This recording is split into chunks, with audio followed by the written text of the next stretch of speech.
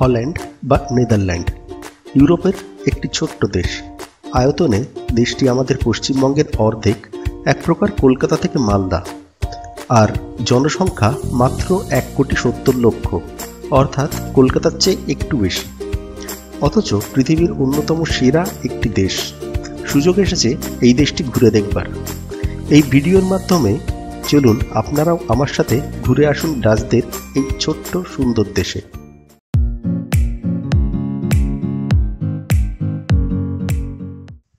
Dubai নামটা শুনলেই মনে ভেসে ওঠে ঐশ্বর্য, বৈভব ও সোনায় মোড়া একটি শহর।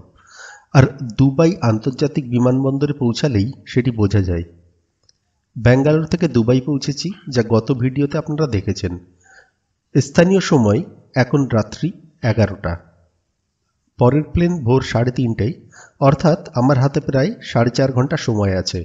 আর এই সময়টা এয়ারপোর্টটা ঘুরে দেখবার জন্য বেরিয়েছি।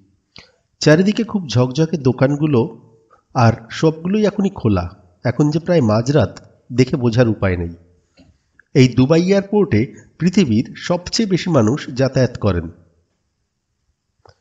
দুবাই নামটা শুনলেই হয়তো আপনার মনে হতে পারে, এখানে তেলের কারণে প্রচুর পয়সা মানুষের হাতে। যদিও এটা মোটেই সত্যি নয়। দুবাইয়ের মোট আয়ের মাত্র পাঁচ শতাংশ আসে তেলের থেকে। বাকিটা অন্যান্য ব্যবসা থেকে। দুবাই সরকার মানুষের থেকে কোনো রকম ট্যাক্স নেয় না, এমনকি সকল জিনিস, তারপরেও কোনো রকম জিএসটি বা ভ্যাট কোনো রকম ট্যাক্স নেই। আর এই কারণেই দুবাইয়ে জিনিসপত্রের দাম অন্যান্য জায়গার তুলনায় অনেকটা কম। দুবাইয়ের রাজারা ছিলেন খুবই দূরদর্শী। দুবাইয়ে খনিজ তেল বেশি ছিল না, আর তিনি বুঝেছিলেন যে অদূর ভবিষ্যতে দুবাই খুবই সমস্যায় পড়বে। আর সেখান থেকেই তারা অন্যান্য ব্যবসায় মন দেন, যার একটি হলো এই এয়ারপোর্ট, আরেকটি এমিরেটস প্লেন কোম্পানি। ঠিক এমনভাবেই তাদের অন্যান্য আরও অনেক রকমের ব্যবসা আছে গোটা দুবাই জুড়ে। এই এয়ারপোর্টটি শুরু করেন ষাটের দশকে, আর এমিরেটস প্লেন কোম্পানি পাকিস্তান এয়ারের সহায়তায় আশির দশকে শুরু হয়। বর্তমানে এই এয়ারপোর্টের টার্মিনাল থ্রি শুধুমাত্র এমিরেটসের জন্য নির্ধারিত। বর্তমানে দুবাই এয়ারপোর্টে সরাসরি আশি হাজার মানুষ কাজ করেন এবং পরোক্ষভাবে প্রায় চার লক্ষ মানুষ। দেশের সাতাশ শতাংশ আয় এই এয়ারপোর্ট থেকে দুবাই সরকার আয় করে। এয়ারপোর্ট ও এমিরেটস দুই সরকারের হলেও সরকার এদের দৈনন্দিন কাজে কখনো হস্তক্ষেপ করে না। আর সরকারি হলেও যে ভালো পরিষেবা দেওয়া যায়, তার উদাহরণ দুবাই এয়ারপোর্টস ও এমিরেটস। যাই হোক, হেঁটে চলেছি আমার পরের প্লেনের বোর্ডিং গেটের দিকে, আর সামনেই একটি সোনার দোকান। এই যে খেজুর গাছটি দেখছেন, এটি সম্পূর্ণ সোনায় তৈরি, পাতাগুলি বা গাছের গুড়ি, সবই খাঁটি সোনায় মোড়া।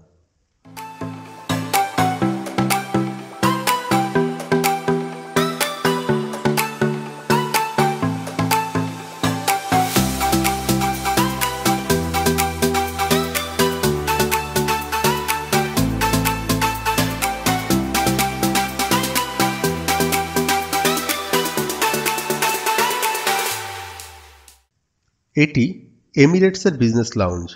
এখানে কিছুক্ষণ বসে ও খাবার খেয়ে তারপর যাব পরের প্লেনের উদ্দেশ্যে।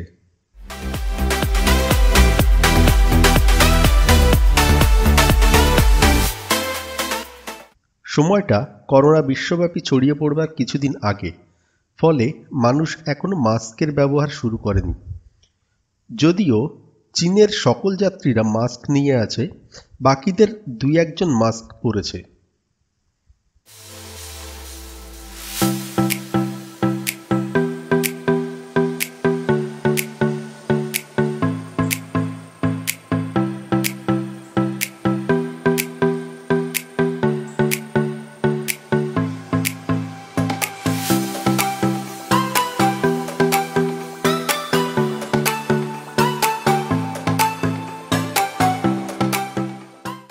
এয়ারপোর্টে চারিদিকে বিভিন্ন দোকান, ইলেকট্রনিক্স, ফোন, ক্যামেরা, গহনা, চকলেট, মিষ্টি সব কিছু আর তার সাথে আছে বিভিন্ন লোভনীয় অফার।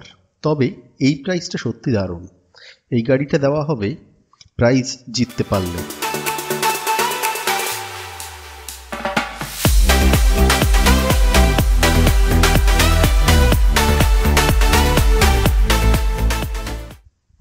এবার প্লেনের দিকে চলেছি, দুবাইয়ে এখন রাত প্রায় আড়াইটে, অর্থাৎ ভারতে প্রায় ভোর।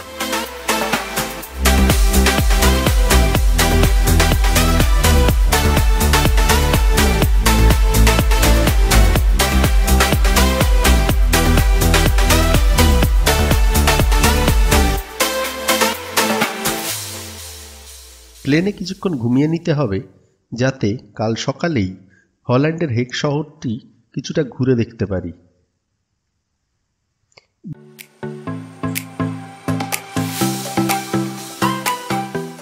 ভিডিওটি আপনার কেমন লাগল অবশ্যই কমেন্ট করে জানাবেন। ভালো লাগলে লাইক ও শেয়ার করতে অনুরোধ করছি। চ্যানেলটি যদি এখনও সাবস্ক্রাইব না করে থাকেন, অবশ্যই সাবস্ক্রাইব করে নেবেন যাতে আমার পরের ভিডিওটির আপডেট সাথে সাথে পেয়ে যান। ভিডিওতে সঙ্গে থাকবার জন্য আপনাকে অশেষ ধন্যবাদ। আপনার দিন শুভ হোক।